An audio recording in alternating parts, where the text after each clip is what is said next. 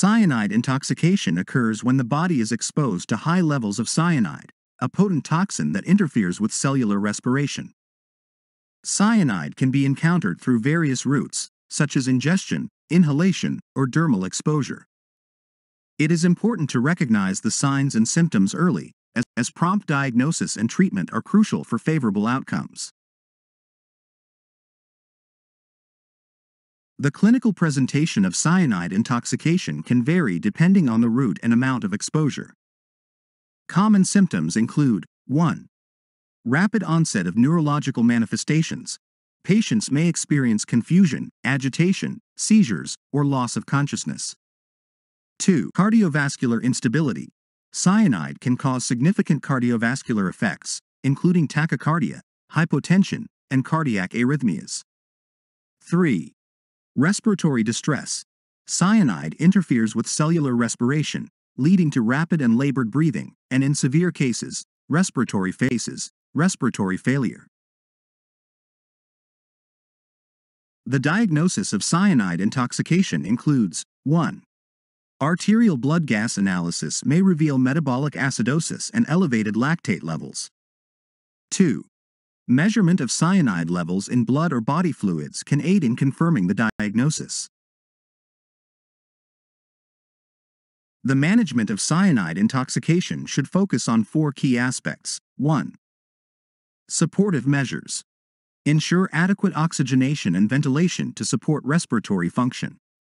Establish intravenous access for fluid resuscitation and maintain hemodynamic stability. 2.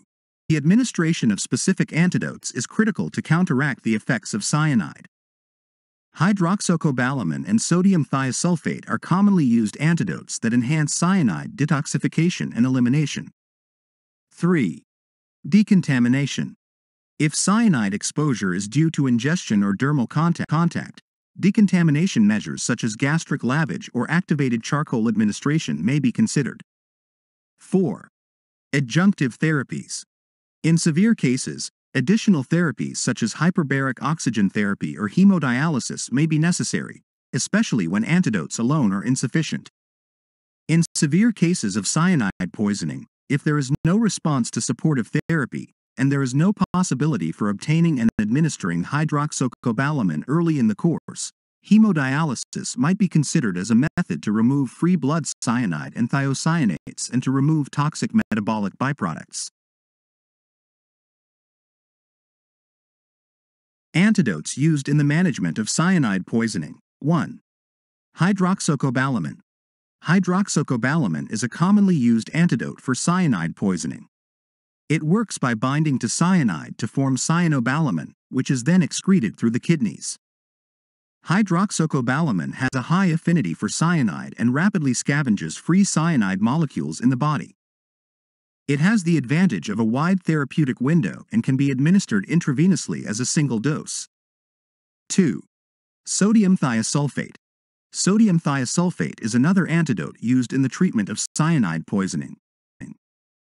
It acts by enhancing the detoxification of cyanide through the conversion of cyanide to thiocyanate, which is less toxic and can be excreted in the urine. Sodium thiosulfate is often used in combination with hydroxocobalamin to enhance the efficacy of cyanide detoxification. 3. Methylene blue.